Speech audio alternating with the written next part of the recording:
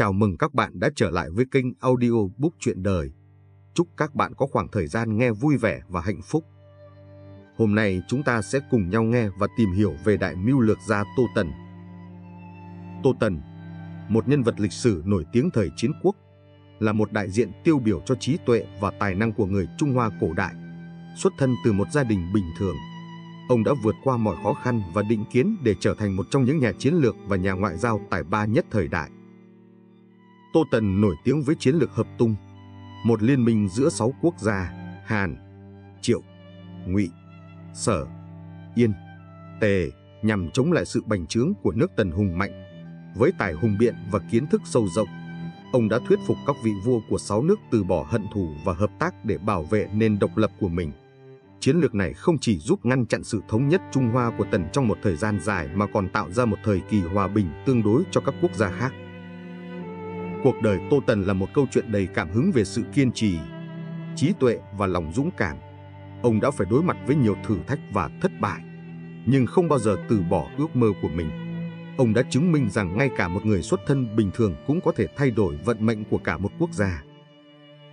Tô Tần không chỉ là một nhà chiến lược tài ba mà còn là một nhà tư tưởng sâu sắc. Ông đã để lại cho hậu thế nhiều bài học quý giá về chính trị, ngoại giao và đạo đức tư tưởng của ông đã ảnh hưởng sâu sắc đến nhiều thế hệ người Trung Hoa và vẫn còn giá trị cho đến ngày nay. Tóm lại, Tô Tần là một nhân vật lịch sử vĩ đại, một biểu tượng của trí tuệ và lòng dũng cảm. Cuộc đời và sự nghiệp của ông là một nguồn cảm hứng vô tận cho những ai khao khát thành công và thay đổi thế giới. Tô Tần, Mưu L. Uto ra về thuật tung hoành bài hợp. Tô Tần là một nhân vật có tính truyền kỳ trong lịch sử thời chiến quốc. Theo sách sử ký phần Tô Tần liệt truyện chép, thì Tô Tần cùng với Trương Nghị từng giữ nhiệm vụ tướng quốc của sáu nước. Cả hai đều là tung hoành gia. Họ chủ trương hợp tung để đối phó với nước Tần mạnh mẽ thời bấy giờ, làm cho quân Tần không dám dòm ngó hàm cốc quan suốt 15 năm. Nhưng rốt cuộc do các đại phu của nước Tề tranh giành sự sủng ái của nhà vua, nên đã dẫn tới Tô Tần bị giết chết tại nước Tề. Trên đây chính là hình tượng Tô Tần trong tâm khảm của mọi người. Hình tượng đó chủ yếu bắt nguồn từ sách sử ký của Tư Mã Thiên. Nhưng trên thực tế hình tượng đó so với sự thật lịch sử có chỗ khác nhau ít nhiều. Tháng 12 năm 1973 đã khai quật được một bộ sách lụa, Bạch Thư, tại ngôi mộ người nhà Hán ở Mã Vương Đôi tại Trường Sa thuộc tỉnh Hồ Nam. Sách này gồm có tất cả 27 chương.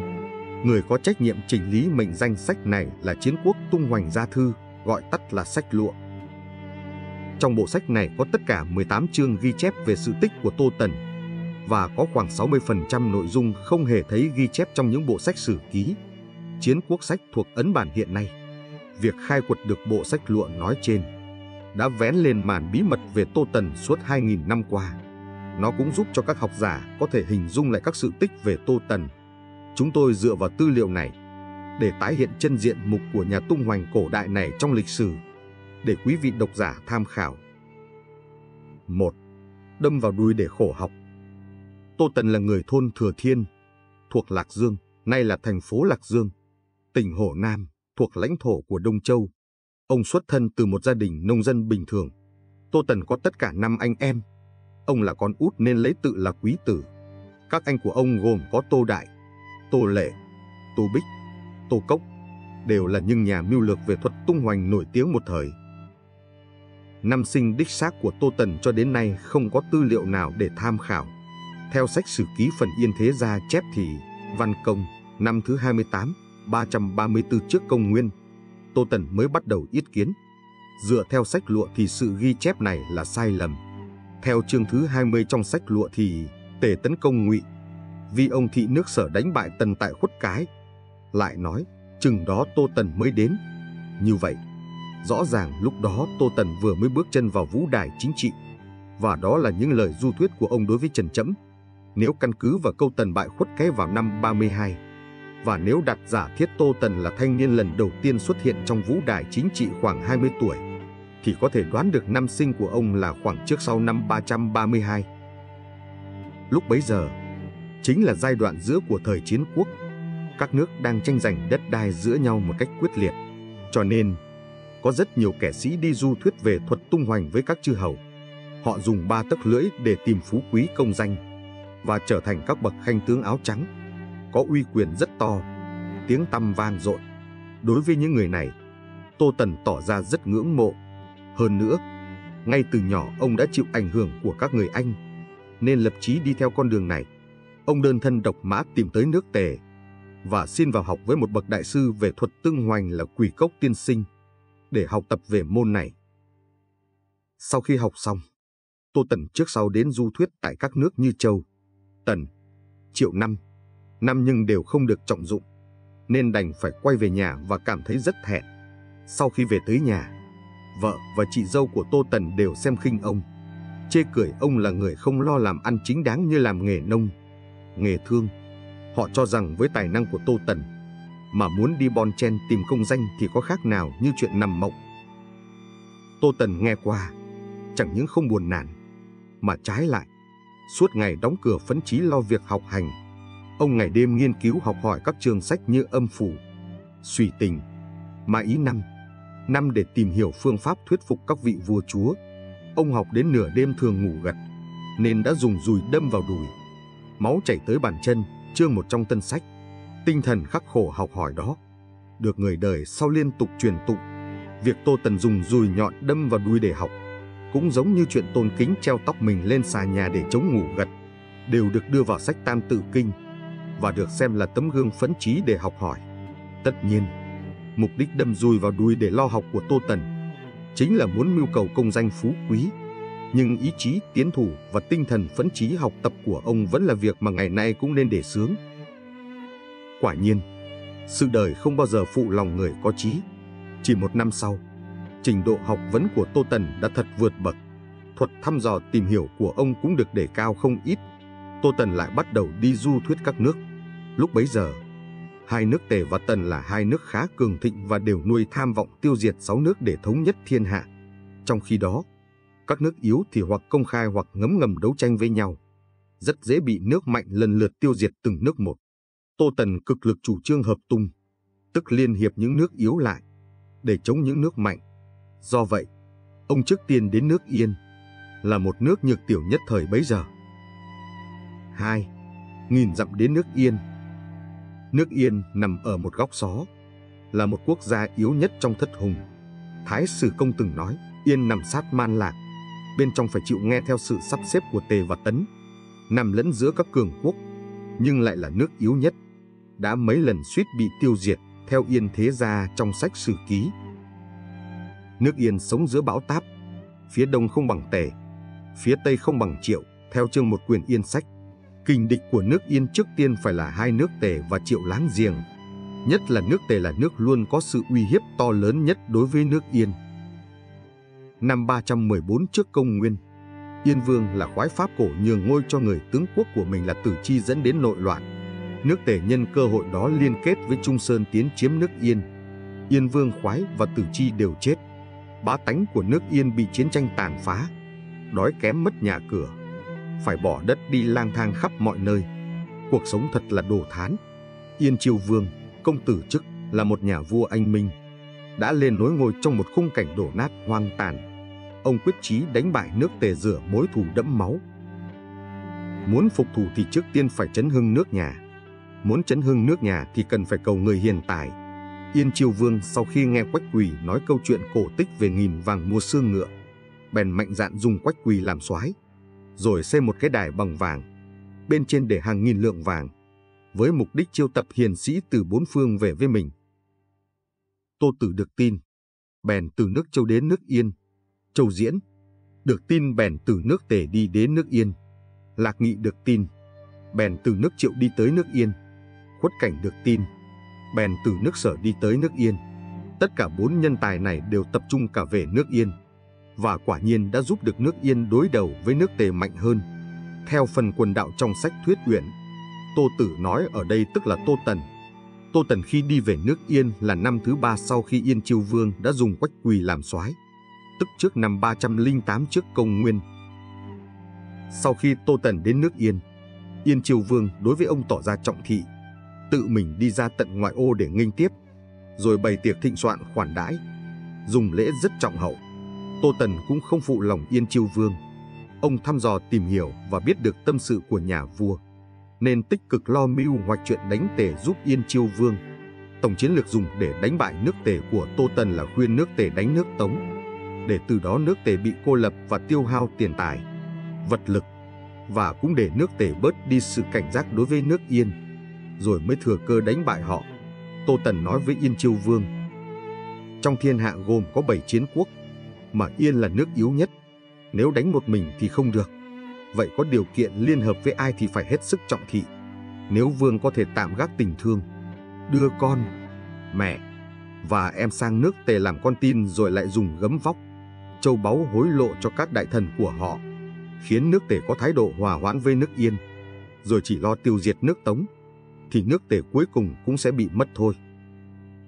Để báo đáp cái ơn chi ngộ với Yên Chiêu Vương, Tô Tần mạnh dạn đề xuất, bằng lòng đứng ra để hoàn thành tổng chiến lược tiêu diệt nước tề của mình, bằng cách tự mình sang tề để làm nội ứng. Tô Tần nói, Vương tự lo việc đối ngoại, còn Tần thì sẽ báo tin mật ở bên trong. Qua đó đã tạo được cái thế đánh bại nước tề. Nhưng do phải rời nước yên lâu dài sang nước tề làm gian tế, là một chuyện vừa nguy hiểm, mà lại còn dễ bị dèm pha, ly gián khiến Yên Vương có lòng hoài nghi đối với mình. Cho nên Tô Tần bèn kể cho Yên Chiêu Vương nghe một câu chuyện cổ về người có lòng trung tình mà lại gặp sự báo đáp đau thương. Câu chuyện như thế này, có một người nọ đi làm ăn xa đã ba năm, vợ ở nhà tư thông với người khác. Khi nghe chồng sắp trở về, bà vợ và cả người tư thông đều sợ hãi. Người này hỏi bà vợ phải đối phó ra sao. Gian phụ đã có sự tính toán trước, nên chuẩn bị sẵn rượu có bỏ thuốc độc để đầu độc chồng. Sau khi người chồng về tới nhà, bà vợ bèn sai người thiếp của chồng đưa rượu tới mời chồng uống, với ý đồ giã họa cho người khác. Người thiếp nghĩ bụng nếu đưa rượu này cho chồng uống thì chắc chắn chồng sẽ chết. Trái lại, nếu đem sự thật tố cáo bà vợ tránh, thì bà vợ tránh chắc chắn sẽ bị đuổi đi. Cả hai phương pháp này đều không tốt. Thế là, người thiếp giả vờ vấp chân té, làm đổ tất cả rượu độc xuống đất. Bà vợ tránh thấy độc kế của mình đã hỏng, bèn xúi bầy chồng đánh đập người thiếp. Ông chồng đang tức giận, bèn trói người thiếp lại rồi dùng roi quất túi bụi. Tô Tần đem chuyện người tiểu thiếp trung thành với chồng, nhưng trái lại bị chồng đánh tàn nhẫn nói cho Yên Vương nghe. Hy vọng trong thời gian ông sang nước Tề để hoạt động gián điệp, thì Yên Chiêu Vương ở nhà đừng nghe theo lời dèm pha ly gián của người khác, mà phải tin tưởng, không rời đổi đối với ông. Đừng để ông phải chịu cảnh ngộ như người tiểu thiếp kia do lòng trung thành với chồng mà lại bị đánh đập tàn nhẫn. Yên Chiêu Vương nghe qua kiến nghị của Tô Tần, bèn nói, Được, chấm sẽ cử Khanh giữ chức thượng Khanh, ban cho Khanh 100 cỗ xe. Khanh dựa vào đó để giúp quả nhân sang phía đông du thuyết nước tề. Đoạn văn trích dẫn trên đều lấy từ yên sách trong quyển chiến quốc sách, nhưng có điều là người biên soạn đã lầm lẫn Tô Tần trong đoạn văn này là Tô Đại. Chỉ cần tham khảo sách lụa thì biết rõ sự thật. 3. Làm gián điệp ở Tề Năm 300 trước công nguyên, Yên Chiêu Vương sai người em của mình là Tương An Quân sang nước Tề để làm con tin. Tô Tần cũng đi theo sang nước Tề. Nhiệm vụ của Tô Tần là làm cho nước Tề không nghi tới nước Yên. Kế đó là làm cho mối bang giao giữa nước Tề và nước Triệu trở thành xấu đi. Tô Tần đi vào nước Tề lần này, mặc dù không bi tráng như lần tống biệt tại dịch thủy, không khí cũng không thê lương bằng lúc Kinh Kha sang Tần làm thích khách nhưng Tô Tần cũng giống như Kinh Kha, ôm ấp chí nguyện một đi không trở về, để quyết tâm ra đi. Tô Tần nói với Yên Chiêu Vương, thần lấy cái chết để làm tròn nhiệm vụ, thần lấy cái chết để tạo mối bang giao hòa hoãn giữa Tề và Yên, chương 4, sách lụa. Như mọi người đều biết, hai nước láng giềng lớn của Yên là Tề và Triệu đều là cường quốc cả. Tô Tần lần thứ nhất sang Tề, Đúng lúc Triệu Võ Linh Vương đang thực hành việc ăn mặc theo người Hồ và tập cưỡi ngựa bắn cung, mạnh dạn tiến hành cải cách rộng rãi, nên nước nhà mỗi ngày một mạnh thêm. Trong khi đó ở nước Tề, vua Tề Mân Vương cũng vừa lên ngôi, nhưng quyền binh hoàn toàn nằm trong tay của Tiết Công Mạnh Thường Quân. Mạnh Thường Quân liên tiếp nhiều năm lo việc xua quân đánh Sở và đánh Tần, tích cực lôi kéo nước Triệu là một nước đang mạnh dần lên, để cùng nước này liên hợp với nhau vào năm 296 trước công nguyên, họ tiêu diệt được nước Trung Sơn. Tình thế về mặt khách quan bất lợi đối với việc Tô Tần phải hoàn thành nhiệm vụ được giao. Sau khi Tô Tần đến nước Tề, cố hết sức tạo mối quan hệ tốt với Mạnh Thường Quân. Qua đó, ông cực lực khuyên ngăn Mạnh Thường Quân đừng vào nước Tần để làm tể tướng. Lại từng hiến kế sách cho Mạnh Thường Quân nên bắt giữ thái tử của nước Sở, để lấy đó trao đổi với nước Sở. Chương 3 tể sách Tô Tần đến Tề lần này, trước sau ở lại 5 năm. Mặc dù trên mức độ nào đó, ông đã hòa hoãn được mối quan hệ vốn căng thẳng giữa Tề và Yên, tranh thủ được sự tín nhiệm của Tề Mân Vương, nhưng vẫn không có cách nào lung lạc được Mạnh Thường Quân nên việc thực hiện mục tiêu làm cho mối bang giao giữa Tề và Triệu xấu đi, không thể hoàn thành được.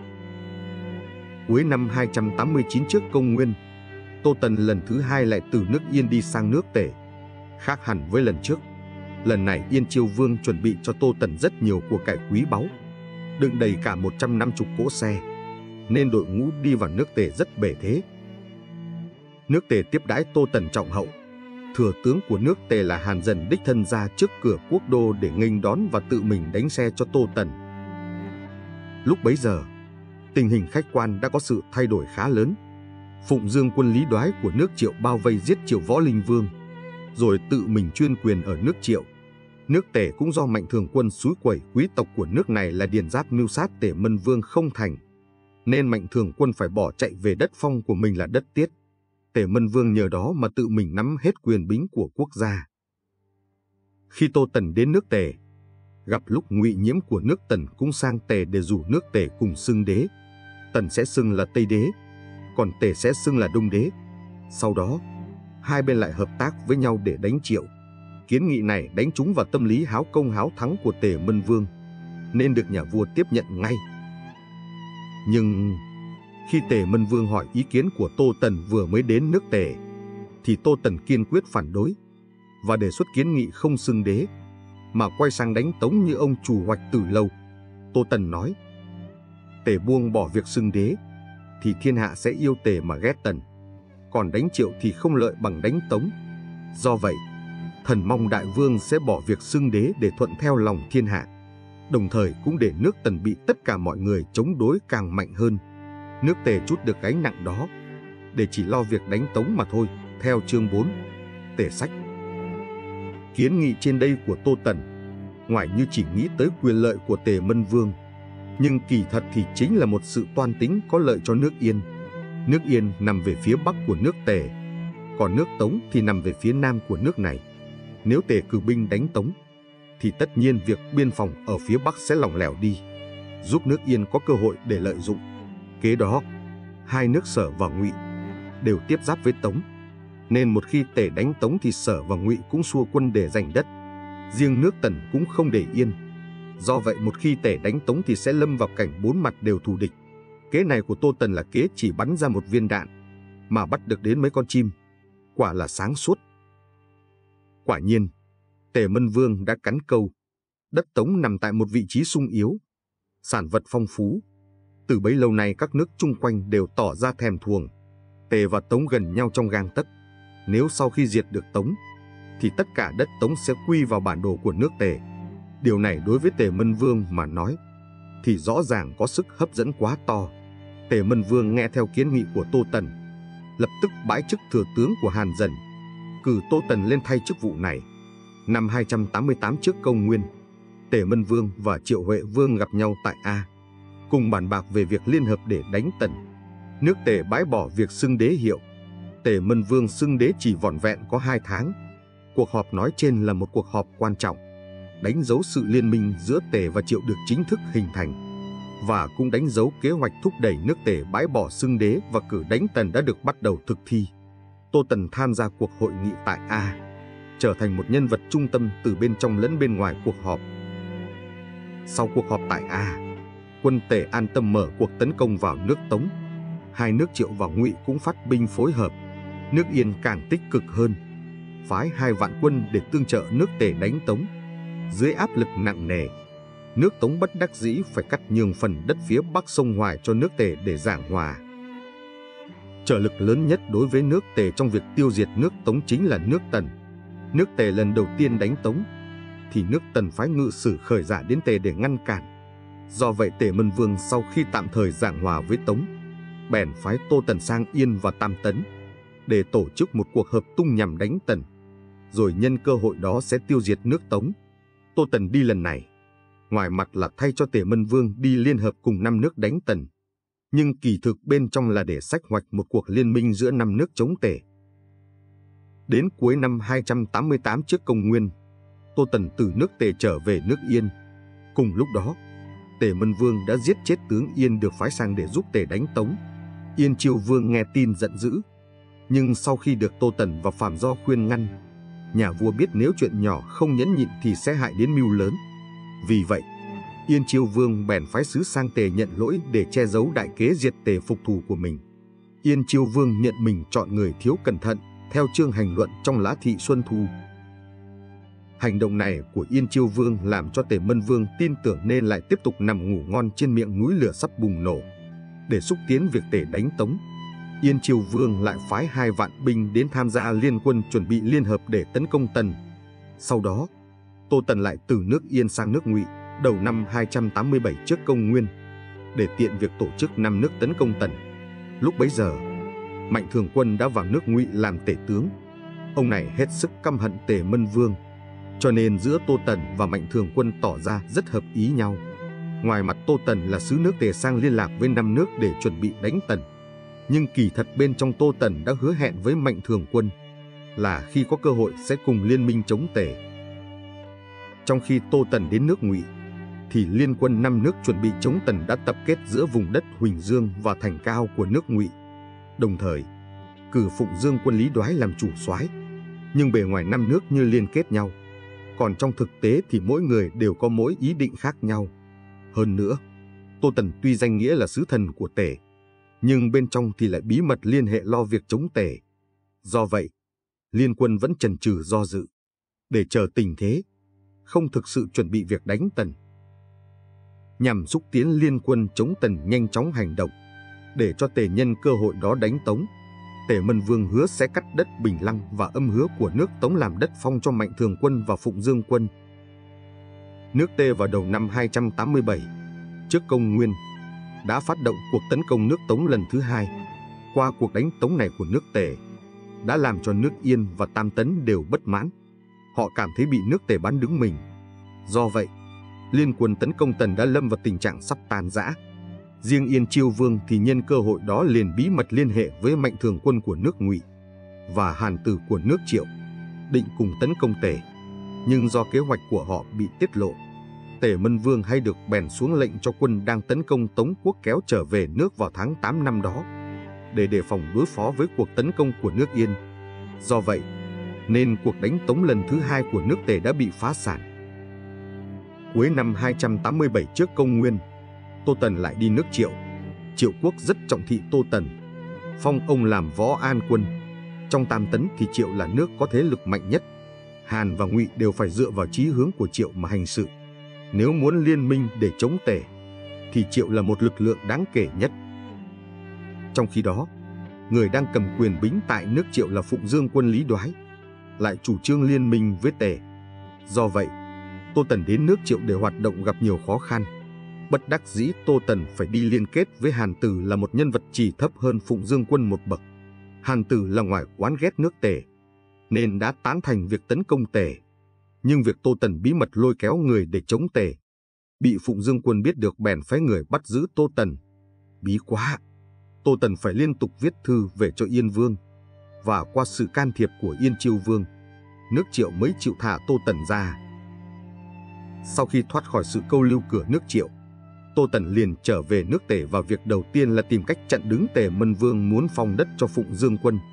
Hành động này đã khéo léo làm cho mối quan hệ giữa Tề và Triệu trở thành xấu đi.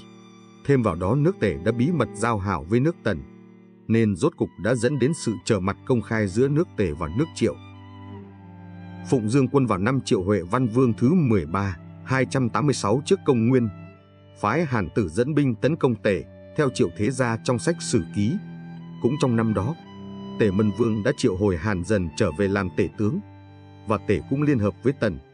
Nhân dịp nước Tống có nội loạn, Tề bèn xua quân đánh Tống lần thứ ba. Tống Vương là Uyển bỏ chạy sang nước Ngụy và chết ở đó. Trận đánh Tống lần này vua Tề Mân Vương rốt cục đã được thành công, tiêu diệt được Tống. Nhưng liên quân Nam nước do Tô Tần tổ chức để chống tề cũng đã kéo tới chân thành của nước này. 4. Công thành thiệt thân Năm 285 trước công nguyên, mặt trận liên hợp chống tề do năm nước Tần, Triệu, Hàn, Ngụy, Yên tổ chức đã được hình thành. Tất nhiên, việc hình thành mặt trận liên minh chống tề này phải quy công cho sự hoạt động bí mật của Tô Tần. Nguy cơ bị tiêu diệt của nước tề đã hiện ra trước mắt. Đến năm 284 trước công nguyên, Yên Triều Vương đích thân sang Triệu để hội kiến với Triệu Huệ Văn Vương, chính thức tuyên bố tuyệt giao với nước Tề. Tiếp đó, liên quân năm nước đã nhanh như chớp từ khu vực có sự phòng thủ yếu kém của nước Tề ở phía Bắc, kéo quân đánh thốc vào nước này. Quân đội của nước Tề liều chết chống trả và đã diễn ra một trận đánh to giữa quân Tề và liên quân năm nước tại phía Tây của nước Tề. Kết quả, toàn bộ quân đội của Tề đã bị tiêu diệt. Sau trận đánh to tại phía Tây của nước Tề, thì Tần, Triệu, Hàn, Ngụy đều án binh bất động.